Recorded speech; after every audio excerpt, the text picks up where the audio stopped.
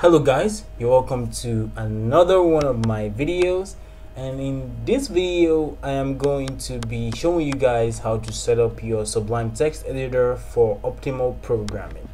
So what do i mean by optimal programming? Well that doesn't actually uh, mean anything to me either but uh, we're gonna be setting up sublime text so that we can actually uh, you know use it as a development environment. Now a couple of things to note about sublime text. Sublime text is not a full-fledged IDE which means that there's some features that are going to be missing uh, some IDE specific features. For example mostly um, things like debugging uh, you know stepping through code. I don't it's pro it's probably possible that you can do that but I highly doubt it.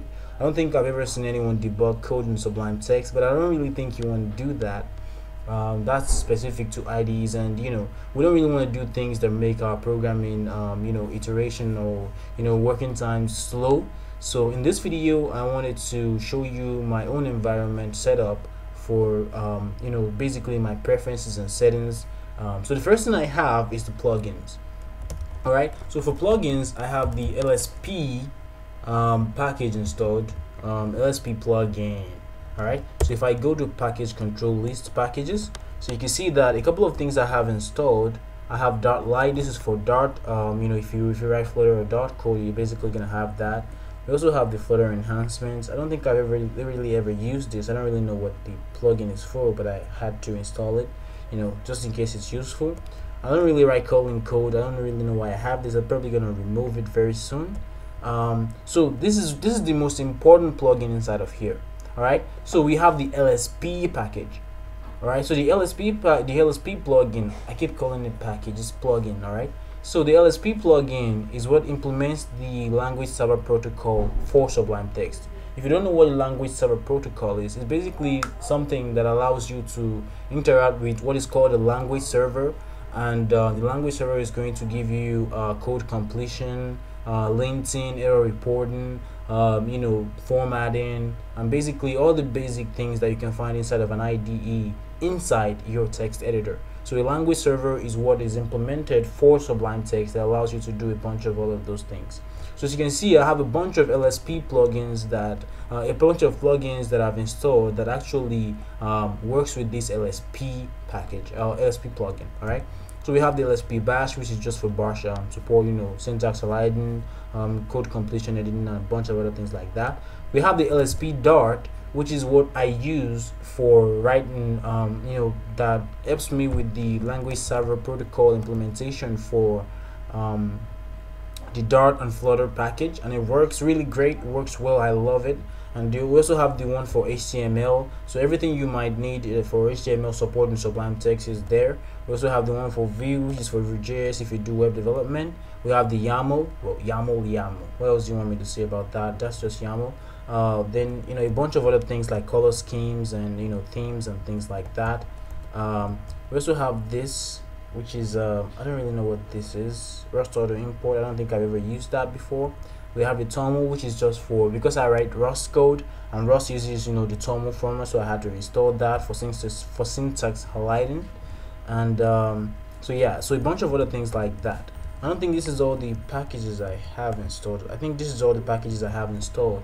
But trust me I have a bunch of other things that I've that I am actually using to make all of this work properly alright? And just to uh, reiterate a good point if you go to the Sublime LSP um, because I don't actually use all, all programming languages in existence. So here is a website for the Sublime Text LSP plugin. So you can find that it supports a lot of languages that you can use inside of your Sublime Text alright so a couple of them I already have installed. So if you want to use Angular so as you can see I picked off bash from here bicep C C++ so you might be wondering how to set up your C++ um, uh, uh, um, plug in linting or whatever and it already works just to show you what I'm trying to say here. If I try to create a new file I'm just gonna say like you know work.cpp I'm just gonna put it in the home directory uh, why the hell not?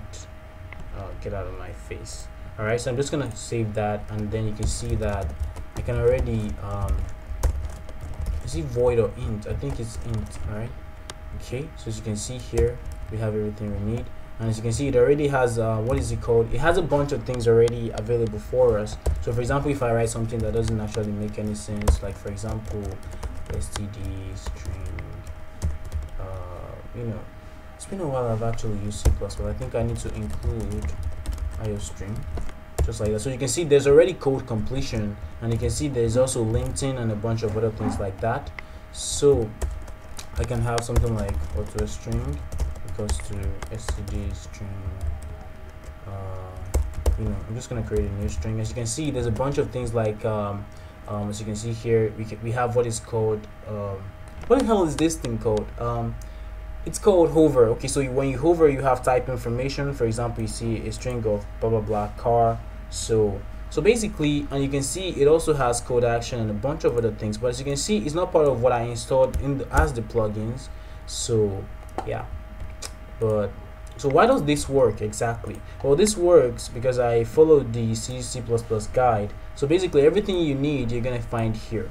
But just to be clear this is not actually clear enough. The instructions look kind of weird and you might not understand what they're trying to say here. But I recommend if you want to set up your C C++ environment for Sublime Text you don't read this because you're not really gonna get what it's saying. But the point of this um, get, get back in there so the point of this um, page is to just tell you what to install. So if you already have the clang tools or clang d or whatever so basically you need llvm and clang installed. And also you need the clang d. I think it's clang d yeah. So you need the clang d and uh, what else do you need? I feel like that's all you need right. So you need just the clang d. So once you have clang d installed you're pretty much okay. And once you have clang d installed what you have to do is i'm gonna find preferences I think it's LSP settings yeah.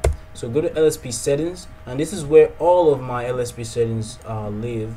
So you can see I have the format on save which means every uh, language server that um, that everything that implements the language server a particular language is going to format my file on save and I also have these to remove the Sublime Text snippet completions because Sublime Text you know gives me some completions that are actually extremely useless to what I'm doing and so I decided to completely remove that and use just whatever LSP gives me. So you may want or may not want this so you can add that if you want. And as you can see if you remember how I did it I just come I just came here and go to preferences LSP settings but make sure you have the LSP plugin installed before you can do that all right so the next thing we I did was I have as you can see I have this Rust analyzer. So this one is for Rust. So if you want to set up your environment for Rust programming which I already did uh, you just have this Rust analyzer you have command Rust analyzer enabled and strew. And that's all you need. This is all you need to set up um, Rust support inside of your uh, what is it called? Um, there's also a package I think. Uh, Rust I think. Right so I think there's a there's a package there, there's a there's a bunch of um, package if I can find that. Uh, package control yeah list packages so uh, I think this is only the Rust that are import. Anyway so I have the Rust analyzer set up here and it works pretty well. I don't think I have anything else I did. And just to be clear I copied some of them from here. This is the one that came with the LSP whatever. And so it has a bunch of clients that it already has support for. Uh, right here. So you can see that the client so I found a client for Rust. Uh, yeah so default clients as you can see here so you already I think it already implements a bunch of all of this for the for this client. So you just have to copy and paste them here.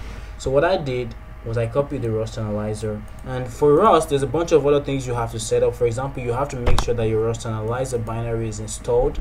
Um, so if you have if you downloaded Rust analyzer on your your own Windows then you basically have to provide a path to Rust analyzer here and then set enable to true and you're pretty much done. All right so for Clang D as you can see so all of these all of these default clients are not enabled by default so you have to do that yourself and that's why you have to come here and add them as manually all right so for dart what i did for dart was um, so if you install the lsp dart lsp dart plugin then you should be able to do this all right um, i think if you install lsp dart plugin then that will that will already be enabled for you but i can't really remember why i have this but maybe you should do that too. Okay i think i remember now probably because i have this this. Anyway it's gonna work either way. Just make sure that when you have your lsp dart installed uh, what you need to do is what the hell is that? Uh, lsp dart it doesn't really show up here. I think i showed you how to do that in the last video. So when I where I talked about setting up Sublime Text for Flutter development so you can check out that video and so but I have this I don't know why I did but I'm gonna keep it anyways just to make sure that everything still works. Now this is for the C++ as you can see. So um, C++ and you can see I have Clang D. So make sure you have Clang D installed. And if you want the command if you have Clang D installed somewhere that is not in your executable path then you're gonna have to provide the full path to your Clang D as you can see, it says you might use an absolute path for this Clang D executable. Function argument placeholder says, I don't know what the hell this means. Header insertion decor decorators. I guess this is zero means no, one means yes, so it means yeah. Anyway, it doesn't really matter. I don't care about this, right? Uh, so this is basically how I set up my development environment. So it's basically based around the LSP package. So once you have it installed, I recommend you come back here and check it out for whatever um, programming language you want to um, work with. There's a bunch, there's a whole lot of programming languages here as you can see, and a lot of support for you know various types and um, you know formats and things like that.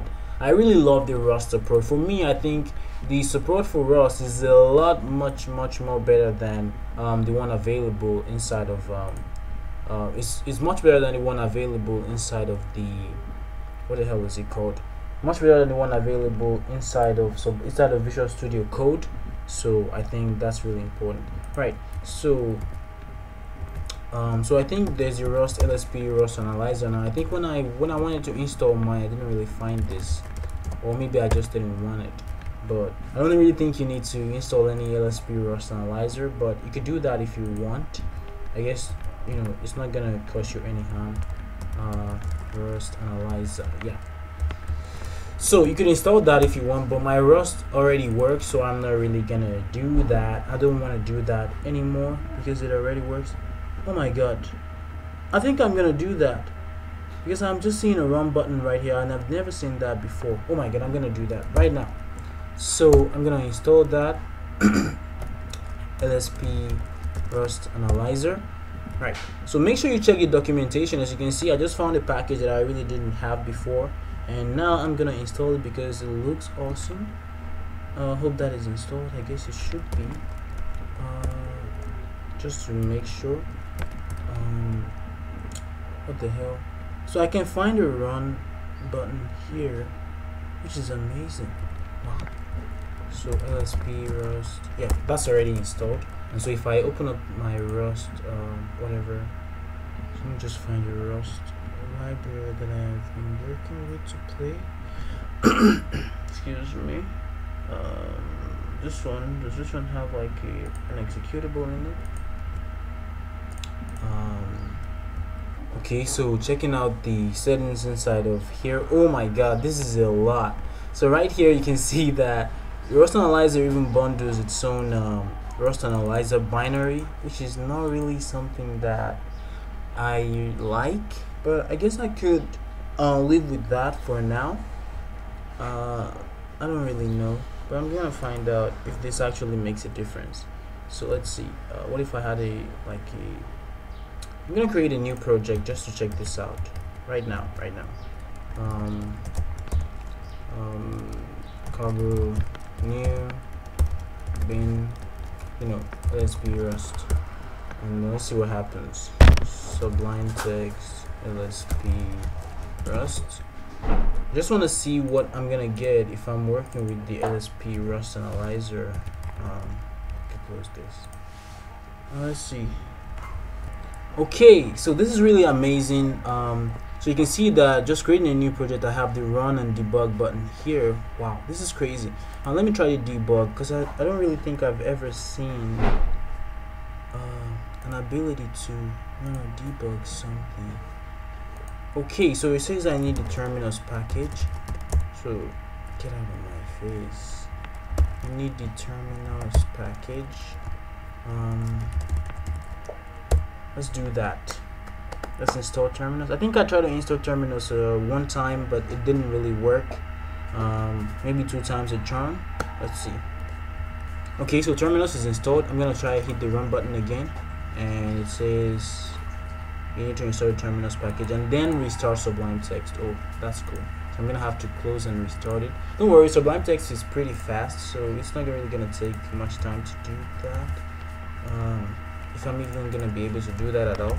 Right so let's be rust again. Let's go back here. Go back to source and main.rs um, so what I'm looking at is the um, so I have the run button showing up somewhere here okay for the main function which means that I can actually do the same for the what is it called? I can do the same for the sublime uh, the LSP dart package. So I'm gonna try to see if I can implement that because I really like it when there's a run and debug button here so as you can see we have the run and debug so I'm gonna try to click on debug and it says debug single failed. Oh my god. Let's try to run. Come on terminus package is installed. Um, I don't really know what's going on here but I have terminus installed.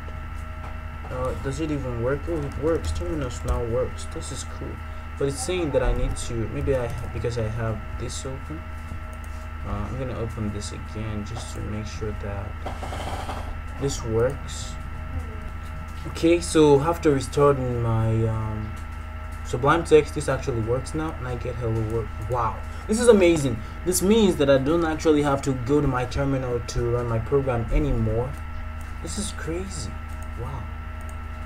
I think I found something like um, I think is uh, expand macro recursively so so this is another cool thing because I, I am currently experimenting with procedural macros in Rust. So I like the fact that this allows me to just expand my macro. I think this is using like cargo expand or something. But as you can see here this this actually works this is really cool. Anyway that's all. Uh, so how do I take this off? Uh, I have absolutely no idea. Uh,